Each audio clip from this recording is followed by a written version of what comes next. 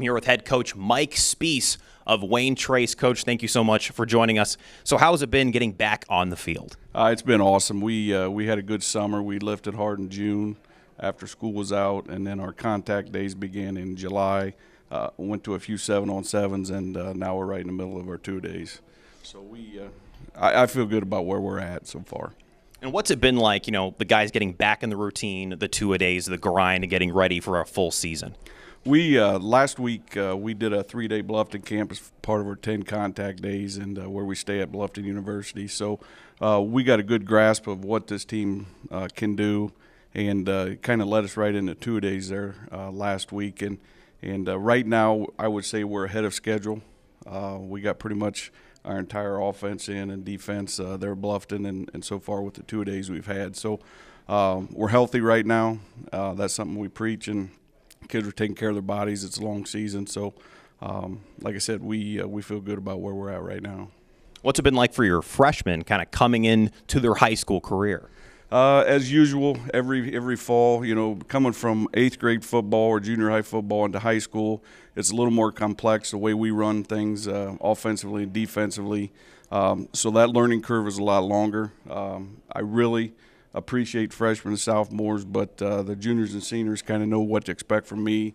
I know what they're about, and uh, you know their brains just a little, little bigger. They've been through the system, so um, varsity-wise is quite a bit ahead of what our JV is, but but that's expected every fall.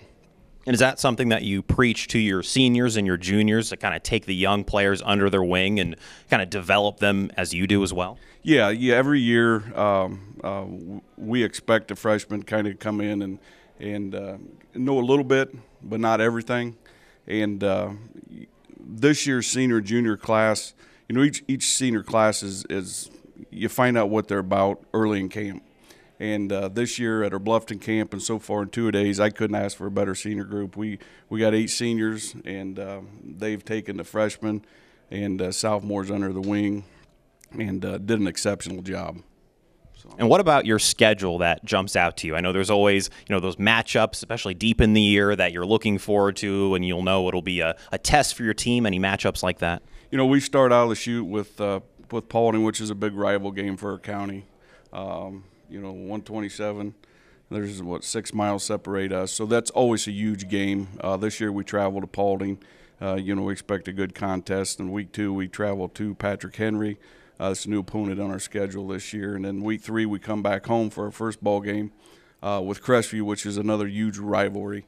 Um, and then we, we jump into a tournament or a Green Meadows conference play a little different this year. Holgate dropped uh, their 11 man football, so we picked up uh, a new school that we've never played.